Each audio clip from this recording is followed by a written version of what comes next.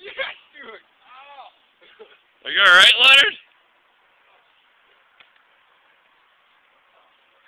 you get that?